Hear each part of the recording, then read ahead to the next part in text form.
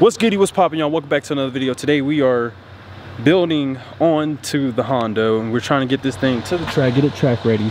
Today we are installing our Kirkey. I did a lot of the work off camera because this thing is like a pain to uh, get in here.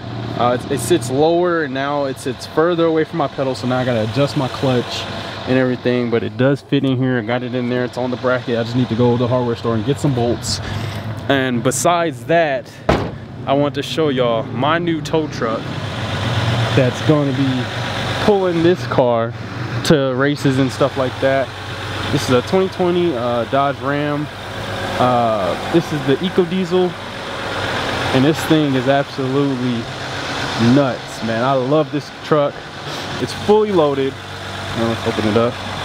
Keyless entry, everything, honestly. All the bells and whistles. I really wanted a truck that's going to be 100% perfect. Let's, uh, there we go. This thing has all the bells and whistles, everything, man. 360 cameras for towing, uh, heated steering wheel, heated seats, vented seats. It has literally everything. Like, look at that. 100, 100 360 degrees camera. Zoom in for the tow hitch. Like, this thing has a tow package, everything. Sensors, uh, four-wheel drive like this thing is nuts. Like this is my new tow truck. Wireless charging. Oh man. Like the seats in the back are just huge. These seats back here also recline. So today like i said we're going to be trying to go get parts for the honda but i just wanted to show y'all my truck. I'm happy i got this. So now we have something to go to streetcar takeover denver and all the other major events i'm happy. So let's head to the parts store and try to get the stuff for that Kirkey seat. And then also i have to try to get my old Sparco seat in the passenger side. But this bracket here isn't mounting up to those rails right? It's like off. I don't know what bracket this is um, but this is like we're gonna try to either modify it or just get a start like with a whole new bracket. I don't know what i'm gonna do. I need that seat in the passenger seat because paige always complaining about the old stock EK seat. So we're trying to get rid of that EK seat and get her a luxury seat in there. So let's head off to the parts store and let's get some parts for the uh, for the Lucky Penny. This is the 3.0 Eco Diesel. This is like the economy economy friendly diesel, even though diesel is already better than gasoline. Uh, this is like the eco-friendly diesel. Uh, this has the 33 gallon uh, fuel tank, so I got 600 and 11 miles to E and this is I've been driving it for a little bit. It's actually really good. Uh, it takes it gets like 30 miles uh, to the gallon on highway and like 24 on the, in the city. So this thing is really good. I don't know I don't know the how much uh, miles per gallon I'm gonna get towing but I have 391 gears in here so it's made to haul a lot of weight but we're just gonna be pulling a little honda so we should get good gas. So right now i'm about to run into true value. Uh going to true value that way we can get these bolts for the Kirkey seat like i was saying and then we'll continue our driving and show y'all uh, a little bit about the truck. As you can see this thing is so much quieter than the old diesel we had the um the 7.3 it's so much quieter. Like i said it, it just has all the bells and whistles leather heated steering wheel, air conditioning. Like it, I'm not air conditioned, but like uh, heated air conditioning seats. Uh, it just has all of the bells and whistles that I love about this truck. I don't know why I keep saying that, but I, it has everything that I love about this truck. Uh, so let's go into True Value. Let's knock out some stuff real quick. We got our bolts. True Value, this place to go for bolts. Uh, now we're gonna head over to the storage. Like I said, I gotta swap either this seat out and try to see, you know I'm saying, what's wrong, why the bracket doesn't fit. We're gonna modify the bracket, but I don't know what I'm gonna do yet. So I'm trying to go over to the storage and try to figure this thing out. Might have to grab the old one, bolt the old one in. We're trying to make it to the track at 11 o'clock right now. It's currently at 9.24. So we got a couple hours, but um, to continue the, the drive of the truck, we could do that because this truck is really nice. Um, but like I said, you can't, you can barely hear like the diesel, like, you know, that tick that you normally get, like, you normally hear that, like you can hear that outside the car, but you can't really hear it inside the car.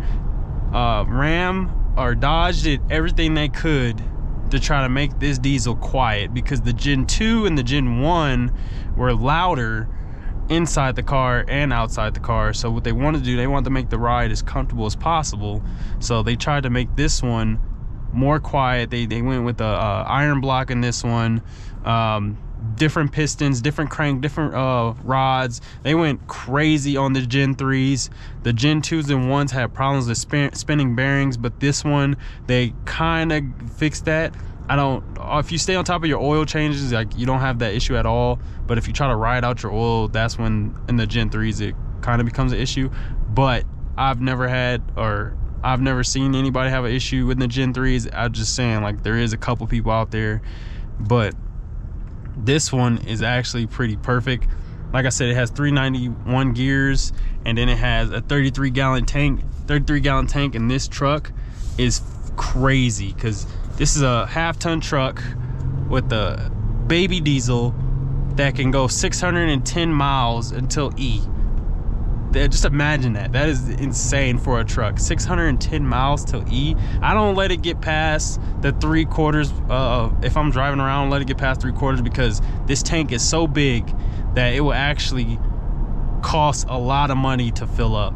A lot of money. Half a tank uh, yesterday when i filled my truck up was 80 something dollars. It was like 85 dollars to fill up from half a tank all the way to like full. That is insane. I know for a fact I do not want this truck ever running empty. Besides that, like the little other little things, it has lane assist. Uh, so where it keeps me in the lane, I can li literally completely let go of the steering wheel and it will bounce me back and forth and keep me in the lane. I don't like the feeling that it does when it's bouncing you in the lane. It feels like it's going to one time go out of control. I don't like that feeling, so I'll, I'll leave that alone. I got it turned down. Um, but it does have lane assist. It does have auto like auto speed uh I, I, don't know what it's called. Let me see what it's called. Uh it's called acc i don't i don't know the acronym for it. Adaptive cruise control that's the name for it. So when i'm driving down the road the car if i put in cruise control it will actually determine the distance and speed that it needs to go when i'm trailing behind somebody. I love that. Mini cooper didn't have that. This car has it. Uh this car literally is probably the newest car i've ever owned I really want to spoil myself and get something that's that's good that I can tow with, be comfortable. These seats are really comfortable. Um, like I love that I don't have the fucking the the seat in the middle. I hated the seat in the middle. Like most people love it. I hate it. Uh, the back seat, like I said, are real is real huge. And on top of that, the seats back there recline. That's like another uh, option they added to this truck. I didn't add it to this truck, but it got added onto the truck. I bought this truck used. It only has 34,000 miles on it. Uh, it had 30,000, but I've been driving it for a little bit.